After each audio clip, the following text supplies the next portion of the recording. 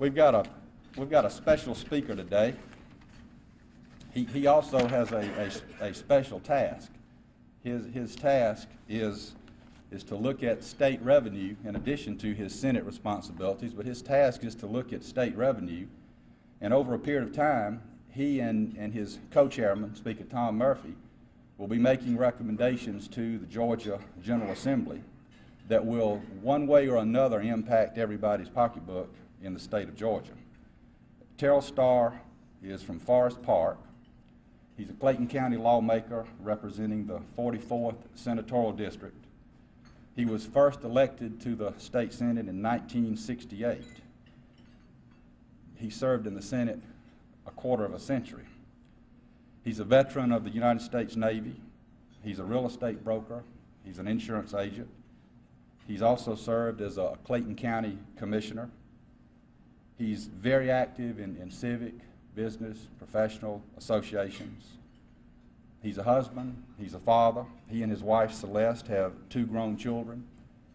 He's, he's active in the First Baptist Church of Forest Park. But he's here today to, to speak to us because of his position of respect and leadership in the state Senate. And because of his leadership and respect, he, was appointed co-chairman of the Revenue Structure Commission. It's called a lot of things, and the General Assembly, state government tends to, to come up with all kinds of, of names for all kinds of projects. Uh, but this, this is a committee, a commission that is, is looking at state taxes, fees, revenue, and, and looking at ways to, to either enhance revenue by, by taking, taking a tax that's, that's unfairly low or taking a tax that's unfairly high and, and balancing those taxes. I'll let Terrell speak exactly to, to what the details of his job are. During his tenure in the state senate, he's developed a reputation as, as one of the most knowledgeable senators, one of the most knowledgeable legislators on the budget, and one of the most knowledgeable legislators on education. He's one of the few, he may be the only member of the General Assembly today that co-authored both APEG and QBE. APEG was the, the education funding formula law that replaced the minimum foundation, and then QBE, roughly 15, 16 years later, replaced APEG. Well, Terrell Starr was appointed Education Committee Chairman of the Senate in his second term, which is almost unheard of, and, and became an expert, if you will, in, in education funding. Has always been known as a, a strong proponent, strong supporter of, of education. I knew Terrell as floor leader for Governor George Busbee. Terrell was the floor leader in the Senate for all eight years of the Busbee administration. I always thought of Terrell as, as knowledgeable, as dependable, as consistent, and, and Terrell was effective. But more than that, Terrell was loyal. As you can imagine, a governor has to represent an entire state. A state senator has to represent a district of the state. Governor Busbee oftentimes had programs or legislation that was not necessarily popular in, in the 44th Senatorial District. But Senator Terrell Starr never balked at doing what was right. He will have to be listed in the history books as the absolute best Senate floor leader that any governor has ever had. I admire him tremendously and, and respect him tremendously. And it's my pleasure to present to you, ladies and gentlemen, Senator Terrell Starr.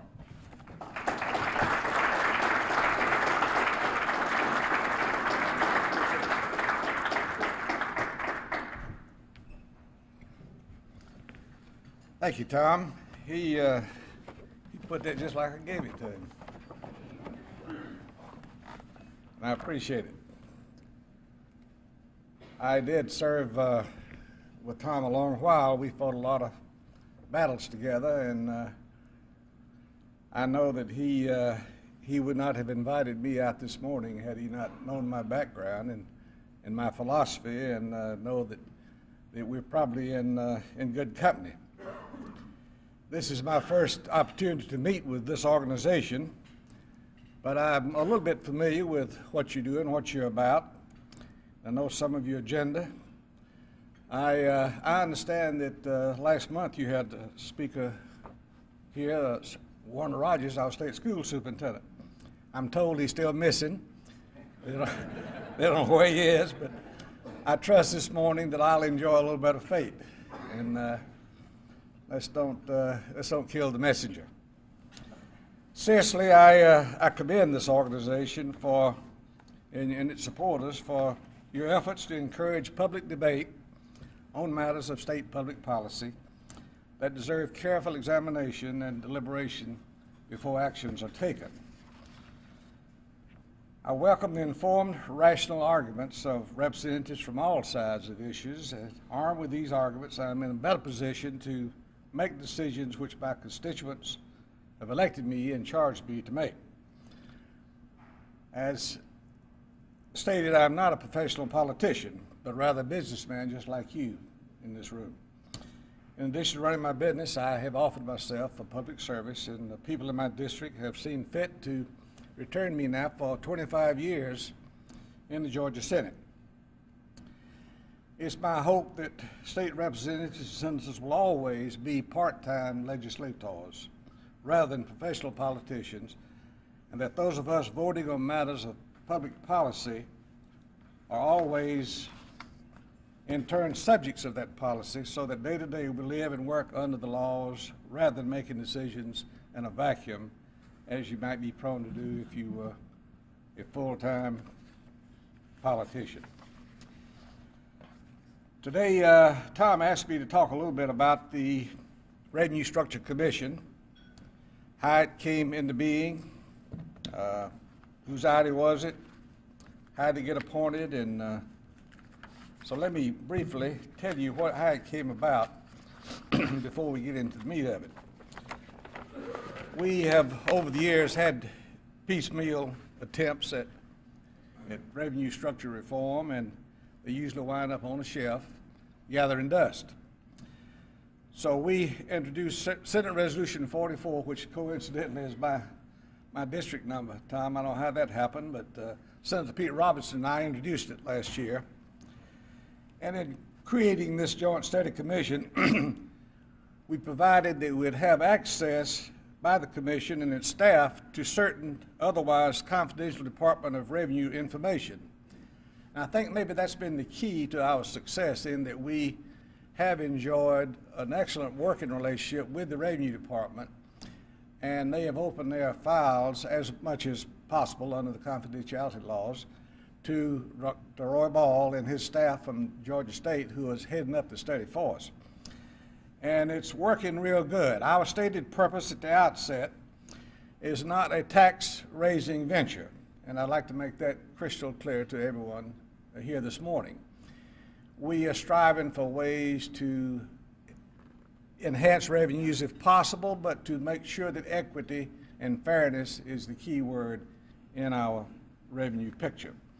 How was the members appointed? The governor appointed seven, the speaker appointed seven, and the lieutenant governor appointed seven. Uh, we only have eight members of the General Assembly on this commission. We have 13 from the private sector, which is as it should be, I think, because it's a broad cross-section of Georgians and those who are interested in, in seeing that government is run on a day-to-day basis in a fair and equitable fashion. The, the list is quite, uh, quite impressive. Uh, the, John Colson, many of you may know, who's with Alston and Bird. Uh, John Downs with the Coca-Cola Company. Felton Jenkins with, with uh, King and Spalding. These, these are the type people that we have on this commission. They're serving and serving well. The Speaker, as you may or may not know, under the Constitution, all revenue re measures have to originate in the House of Representatives. And so extremely important that the House be involved in this study. And I'm pleased that the Speaker has taken, Tom, an extraordinary amount of interest in this matter. In fact, he has just appointed himself as, as co-chairman and is serving every meeting and showing a real interest in it. That tells me that we can come up with something meaningful and positive and we'll be sure to get a good hearing in both sides of the aisle because the Lieutenant Governor is committed to this process as well. So we, uh, we're off and running. You might ask the question, do we need a Revenue Structure Commission? Yes, and uh, let me tell you briefly why. For years, we've had uh, piecemeal tax reform, usually on a crisis basis. Think about it. An ill-fated and ill-conceived exemption for groceries. For years, I have had the desire to take the sales tax off of groceries. I just somehow or another think it's fair and equitable that, that you not have to pay a sales tax on the food you consume at home. Uh, but it didn't work out. There was a problem with it. A relief on income taxes for the elderly in order to satisfy a court order about taxing pensions. The one cent sales tax that we finally passed here a few years ago, uh, the first one in about uh, almost 20 years, uh, which is a long, long while. We, we were the last state to really bring about any, any increase in taxes in the whole United States. Usually our tax reforms have amounted to just small adjustments, slight adjustments, and any reform commission has never really brought about anything meaningful, anything of a lasting sort. In fact, our income and sales taxes today don't look a whole lot different than they did 30, 40 years ago. But we live in a far different economy. In short, it was time to take a hard look at our revenue structure. Not only do we have a revenue structure committee, but we have a, a real revenue study, structure study underway. We've commissioned the Policy Research Center, headed by Dr. Roy Bahl at Georgia State University, to carry out such a study and to provide the Commission with the background it needs to make the kind of recommendations that it should when we're ready to make them to the General Assembly. The Commission, if you would, has gone to school with this study, and we're assembling a substantial amount of information which will be able to put to good use when we prepare our recommendations to the legislature and to the governor. we, the Commission, are very pleased to date with our progress. We have had now five meetings. We have another one scheduled for the 17th of 17th of December, where we'll make an interim report to this next session of the General Assembly. Our concern, the objectives of our commission is this. Our concern is with the rate, revenue structure and not with increasing taxes. In fact, we're asking the following question. Can the state raise exactly the same amount of tax money that it now raises, but with another tax structure that is more fair, equitable, and conducive to economic development? Our sole concern is with the structure of taxes and not with the level of taxes. If we can find a better way to raise what we now receive in taxes, then the legislature and the governor can, can always adjust up or down depending on the needs of state government to operate. Do you have any preconceived notions about what is the best tax structure for Georgia? No, we do not. And we've told the Policy Research Center that we would like to take a hard look at all of the options. No sacred cows. In fact, we're examining everything from elimination of property taxes for school purposes to increased standard deductions on the income tax to a broader based sales tax and more, but always within the revenue neutrality norm. If we recommend an increase in tax A, we hope to recommend an equal amount of reduction in tax B, so as to keep the overall tax burden the same. We do have some other rules we're trying to follow. One is take your time and do it right. Uh, we knew when we formed this commission this year that uh, getting appointed late, as is the case, we would not be able to complete the study as intense as we had hoped to, to by, by the end of this year. And so we're going to ask that it be reconstituted for next year and probably give our final report in December of 1994. We are undertaking an intensive study of each major tax, and then when we feel comfortable with what we've learned, we intend to explore detailed options as a commission. You probably only get one chance in a decade to do a comprehensive study like this, and we want to make sure that we, we do it right and, and make the recommendations that are needed to the General Assembly. When we come with a report, you can be sure we'll be able to support our recommendations thoroughly. I mentioned earlier the, the uh, fact that we're getting so much help and support from uh, the Revenue Department. And by the way, Tom, we, uh, we brought Jack Morton on board, who spent many, many years, as you and I know, and is probably the most knowledgeable person in the Revenue Department uh, as a consultant to the commission. And he, working with Dr. Bahl, uh, really put it together for us. And second, we want to be sure that we understand the relationship between our economy and the tax structure. We want these recommendations to be able to carry Georgia into the next century. It ought to be a tax system that can fairly reach the complex economic base and population that is growing in our state. Third, the work should be empirically based. We are relying on the numbers. If we say that a tax is regressive or that its revenue yield is stagnant, we'll have the data to back that claim up. Fourth, we'll look hard at the experience in other states. We may not want to do what other states have done, but we do want to know what the experience has been, what has worked and what has not worked, and what are the lessons that we can glean from it. Fifth, we'll consider both the state and local government sector. This is a state government commission, but we know that it's not possible to separate the state from locals. In the local governments, rely on, we have a common sales tax base, and they rely heavily on the aid programs funded from the state taxes. Now, what have we learned so far?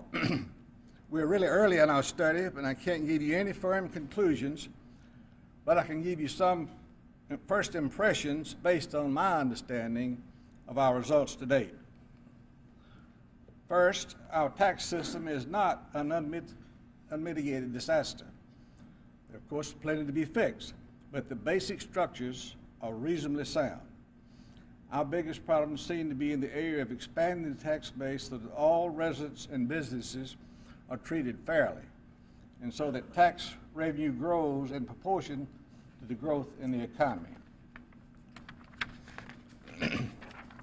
Secondly, we're still on a, a below average taxing state relative to the rest of the country, even when we take into account our below average income as compared to the other states. Third, we are very concerned with the vertical equity of our tax system. For instance, the way in which higher, middle, and lower income families are treated. Our empirical studies to date have shown us that the individual income tax is a progressive tax. For instance, the higher income families pay a higher effective rate, but the sales tax and the property tax are regressive. For instance, lower income families pay a higher effective rate. What we're trying to figure out now is what balance we can get between these three taxes so that the overall tax burden is not a regressive one. Fairness is a major concern with our tax system. Those who consume groceries and commodities pay sales tax, but those who cons- consume services do not. This hardly seems fair. Those who hold wealth in the form of real estate seem to pay more tax than those who hold wealth in the form of intangibles. This hardly seems fair. Companies who use state services and earn profits pay more tax than companies who use services and don't make profits. Some will say that this is not fair. All of these issues are under study. Fifth, our revenue system does not give the kind of growth in collections that it once did. We think this is partly because some of the faster growing elements of economic activity are escaping taxation. The consumption and production of services is one example of that. The growing share of income earned from transfer payments and capital sources is another.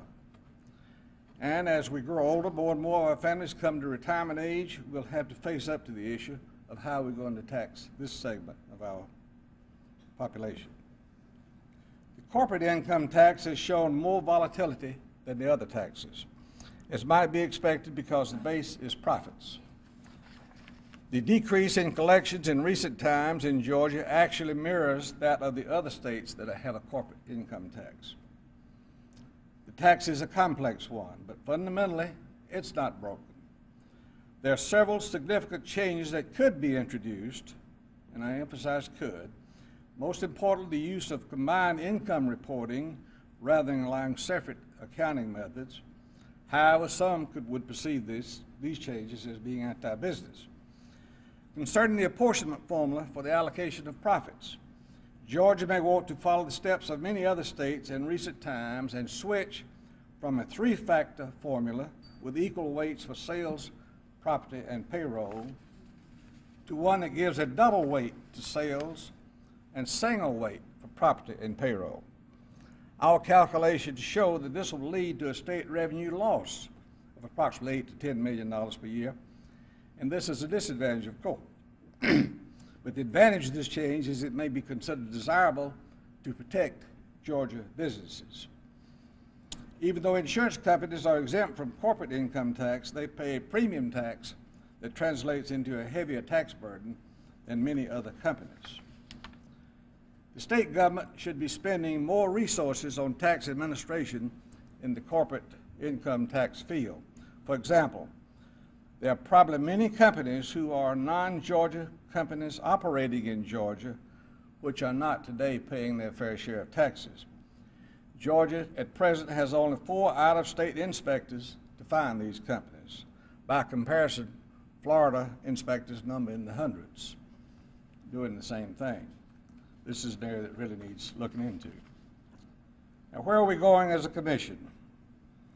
We're gathering information on round one of our work. By the time we finish this phase in December, we'll know about each of the major taxes equity, fairness, revenue responsiveness, administrative cost, economic development effects, and so forth. We also will have evaluated a number of reform options replacing property tax as a source of school finance, bringing services into the tax base, and so forth. Our next step will be to begin designing a set of reform options that fit the judgments of the commission members who, after all, are representative of the state's population. We plan to report our progress as indicated to the legislature this year and then to make a final report during late 1994 when we've finished our deliberations. We are, we are pleased with our progress. We're pleased with Dr. Bahl and, and, uh, and his staff. He has uh, a, a, group of about six professors that he's using this. It is furnishing us with a wealth of information. And Jack Borden, bringing him on board, who is a former employee of the Revenue Department, was a, a real coup. He's together they're just doing a good job, and the Revenue Department is giving them the information to do the job with. So we, we think we're headed in the right direct, direction. We hope you are pleased with our efforts, and when we get finished, we hope to have some recommendations that will be meaningful. A word on uh, where we're at today, a financial update. Uh, the reason I say our, our system is not broke, Georgia still ranks tall with our sister states in our bond worthiness and our fiscal responsibility. We always rank in the top three states in this category. And our selling our bonds is, is, is a matter of putting them out there. They're, they're, they're grabbing them up real fast, whereas other states are having real difficulty, and we're getting a much lower rate as a result. Standard & Poor's and Moody's bond rating uh, concerns have really always ranked Georgia very high in that regard.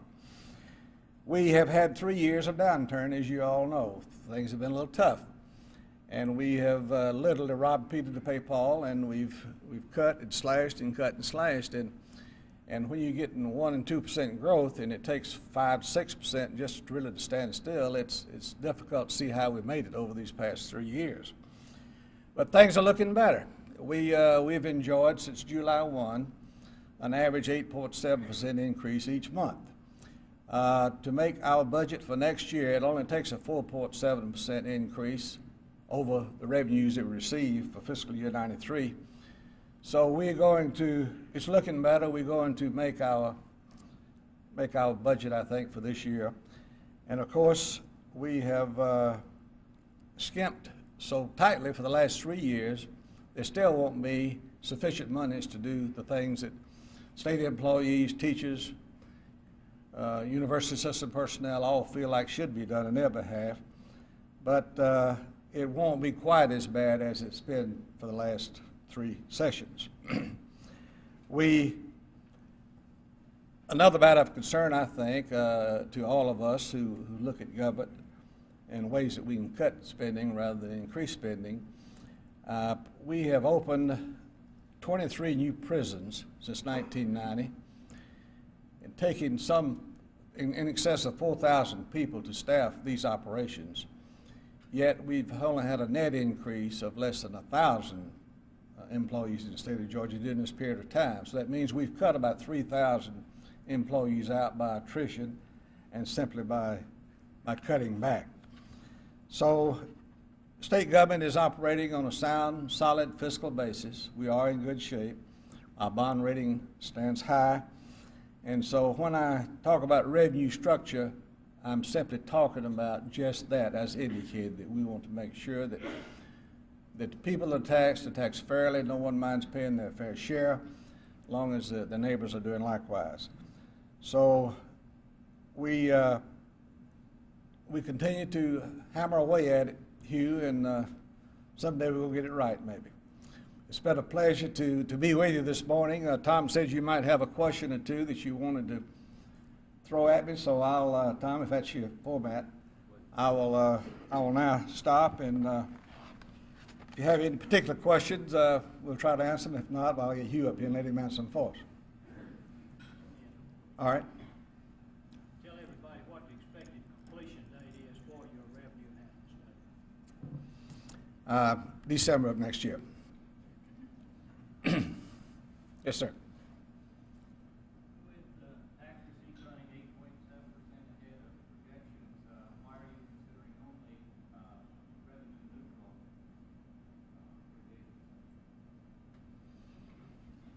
Well, this is a study commission and really has no, no bearing at this point on what our revenues will be for the fiscal year ninety-four, because we will, will not even be completed our study by the end of this fiscal year.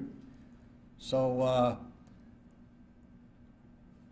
for instance, to give a one percent across-the-board raise for all state employees takes about fifty-three million dollars.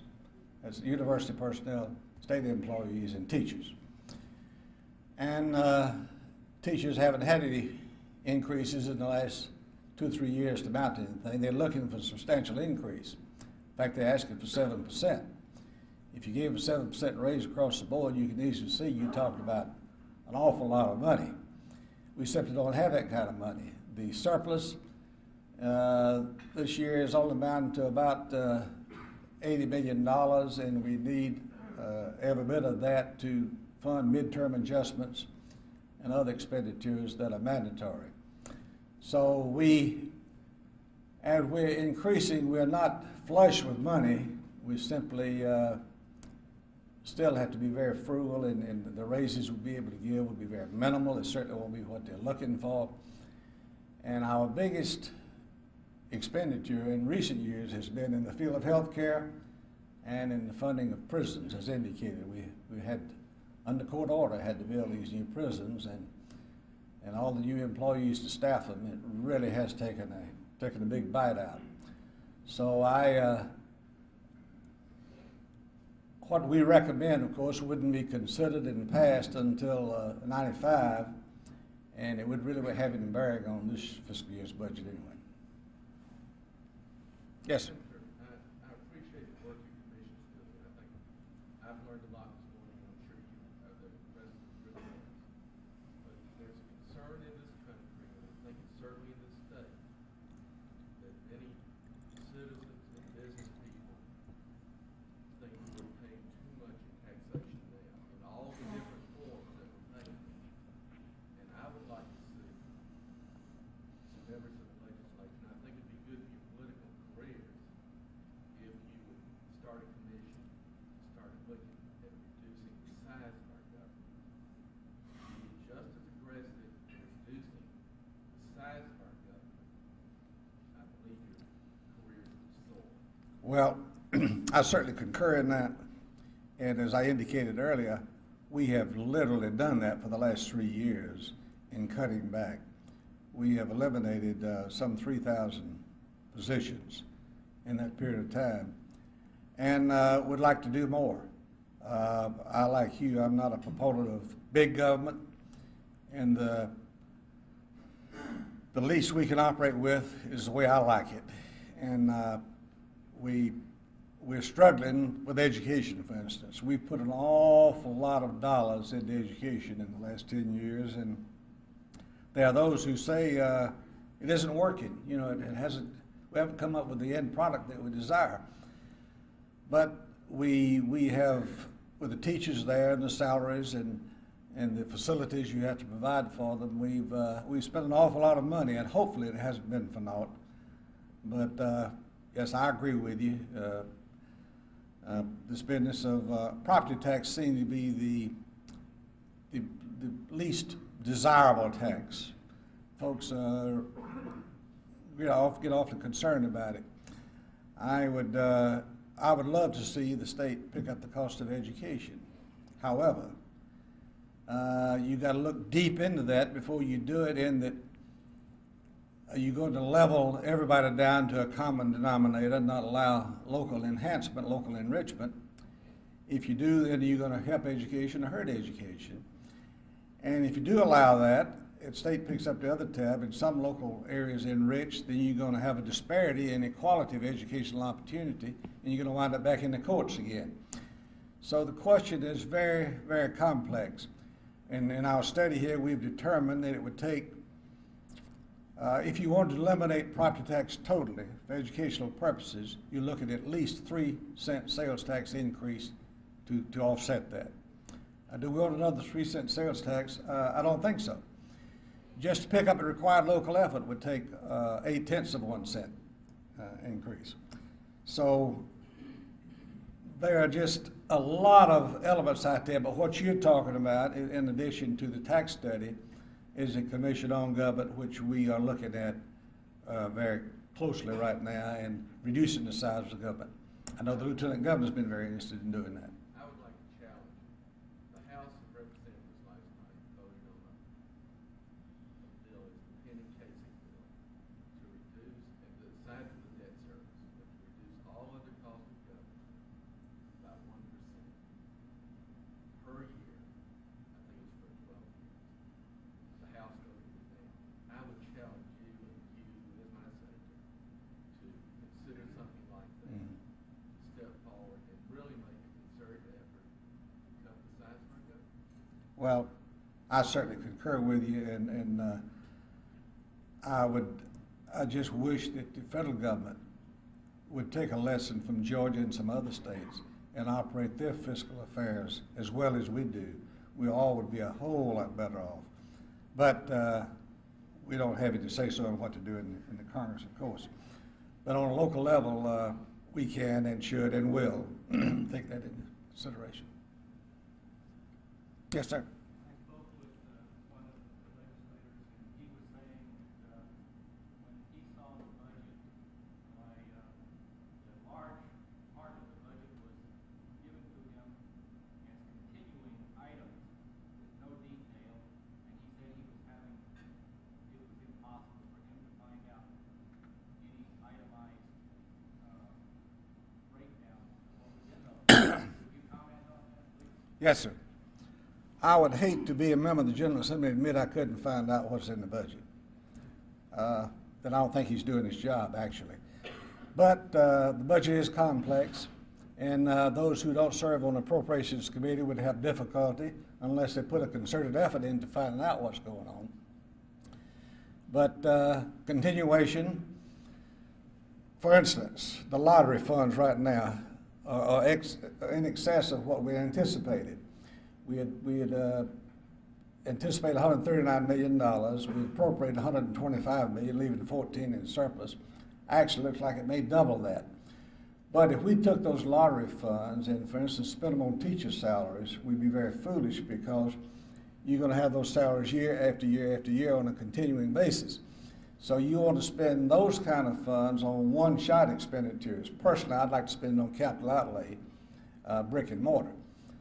But uh, you, the budget requires a lot of work, a lot of getting into, but you can get the answers if you simply dig in there. And when you say continuation, that's true. You got a, you got your state patrol, you got your prison system, you got the board of corrections, you got your teacher salaries, you got university to operate, and your ongoing expenditures are, are such that if you are not careful, they mount up on you real fast, and you simply uh, you run out of money. Uh, but I, I think anyone that really wants to find out can find out and, and should find out.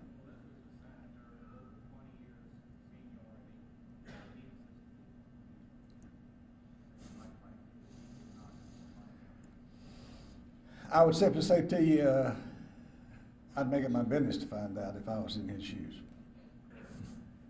Yes? Sir, what is the status of opening the prison, staffing and opening the prison in the state?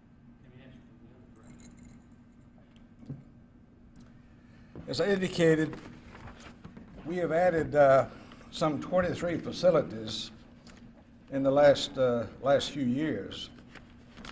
And uh, with addition of some 4,000 in personnel. Now, there's, a- there's some more that are ready to open, and depending on availability of funds, and hopefully there's going to be some surplus funds, that we'll get them all open by July 1 of next year.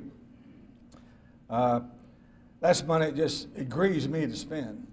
I just hate to see us spend all these dollars on, on prison facilities that you must build according to specifications. Uh, The courts require you to have a certain uh, amount of space for each prisoner. You got to feed them correctly, and you got to. It just takes an awful lot of money. It, it seems uh, to me a waste. Well, I'd like to be spending that on uh, on education and other human needs. That would be a much better, uh, long-lasting benefit. But I think we'll have them all open. to Answer your specific question by July one next year. And we we think we catch up, but we don't. Our population is just still growing by leaps and bounds, and the prison population that is, and uh, we're going to continue to need more prison beds, and we're going to have to build more unless something drastic is happens in our criminal justice system to turn it around. Any other question? Yes, Tom. How, how can, how can this membership, how can taxpayers in Georgia access your commission and express their concerns or suggestions or ask questions of the commission during the deliberation? We, uh, we're going to hopefully be reconstituted after the first year, and I'm sure we will be, because there's a lot of interest in on the governor's part, the speaker's part, and the lieutenant governor's part. We will be breaking into three subcommittees and uh, assigning seven, seven members to each one. And uh, it's going to be open. There'll be, a- any meetings you well know, well, open meetings, and, and we, we uh, want your input, want your advice, and we'll be having public hearings uh, next spring and summer on it. So uh, stay in contact with either me or the speaker or any member of the commission or any member of the General Assembly. Uh, And we can let you know when the meetings are going to be and where they're going to be held. And uh, we want public input. We want to know what you, the business community, is thinking uh, in regards to tax reform and which direction we should be taking. So, yes, we welcome your input. Any last question? Thank you very much. It's been my pleasure to be with you, and uh, this is your government. Take an interest, and, and, and if you don't know your senator or your representative, shame on you. Make it your business to know, because they need your advice, your counsel, and uh, they need you looking over their shoulder to make sure we do the things you're talking about, make sure we try to trim the fat out of government and we get, get, get a handle on government's expenses. And that's our stated desire, and we, we hope that we carry that out. Thank you. It's been a pleasure being with you.